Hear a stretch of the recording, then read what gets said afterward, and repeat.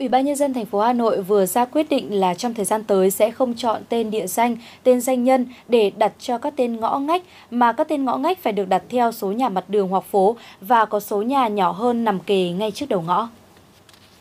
Trường hợp những ngõ gắn với địa danh có ý nghĩa lịch sử, văn hóa đặc biệt thì Ủy ban nhân dân sẽ xem xét đặt cách gọi tên riêng với những tên địa danh chỉ được chọn để đặt tên đường phố và công trình công cộng có ý nghĩa và giá trị tiêu biểu về lịch sử, văn hóa của đất nước hoặc của Hà Nội với tên danh nhân bao gồm cả các danh nhân nước ngoài được chọn đặt tên đường phố và công trình công cộng ở Hà Nội thì phải là người tiêu biểu trong những người nổi tiếng, có đức, có tài, có nhiều thành tựu và đóng góp lớn trong các lĩnh vực văn hóa, nghệ thuật, khoa học kỹ thuật và trong sự nghiệp xây dựng và bảo vệ Tổ quốc. Đặc biệt, danh nhân thuộc lĩnh vực được chọn đặt tên phải là người đã mất trước thời điểm xét đặt tên đường phố ít nhất là 10 năm.